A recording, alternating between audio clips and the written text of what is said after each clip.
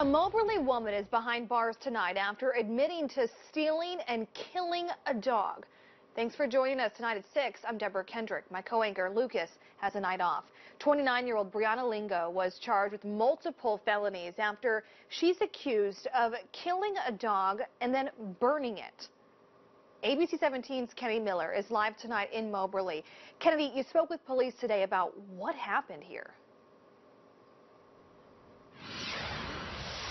Deb, according to a probable cause statement, Lingo's mother came home earlier this morning, and when she got home, she says her daughter told her that she had made a, quote, sacrifice and allegedly admitted to killing her mother's dog.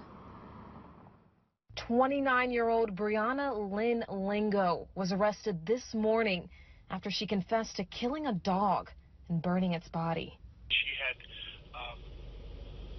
had caused the dog's death by strangulating and then had put it in the burn pit as what I think she said was a uh, some type of ritual or something to that effect. Moberly police say when they arrived at the home in the 300 block of Whiteman Street, they discovered a half-burnt terrier mixed dog that was dead.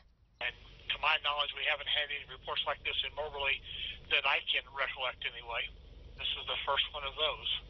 Of course, we've investigated different animal abuse cases over the years, but never one to this extent that I'm aware of. The Randolph County Prosecutor's Office charged Lingo with felony counts of stealing an animal and animal abuse.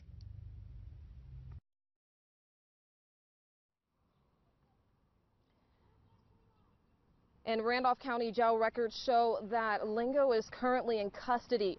She has a $15,000 bond no hearings have been scheduled for her at this time. Reporting live in Moberly, Kennedy Miller, ABC 17 News. Okay, Kennedy, thank you. According to the probable cause statement, Lingo's criminal history revealed no prior animal abuse charges.